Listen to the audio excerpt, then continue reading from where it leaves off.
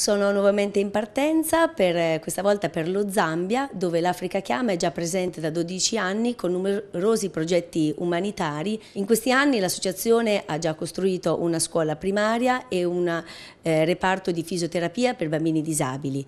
E successivamente abbiamo ampliato la struttura della scuola che oggi ospita anche una scuola secondaria. È presente anche un poliambulatorio, una piccola clinica dove eh, circa 800 pazienti vengono visitati da uno staff medico locale. Sono opere molto impegnative che ci vedono eh, presenti in una zona che si chiama appunto Kanyama dove vivono 250.000 abitanti e in una situazione di disagio. Così ci siamo accorti che spesso il, eh, la disabilità è legata a delle condizioni igienico-sanitarie delle mamme che non vengono seguite durante la gravidanza o eh, durante il parto nei primi mesi di vita. In Cagnama è presente soltanto un ospedale con sei posti letto. Questo significa che praticamente soltanto una donna su dieci si reca in ospedale per eh, il parto. Allora, grazie a delle donazioni, abbiamo mm, deciso di metterci al, al lavoro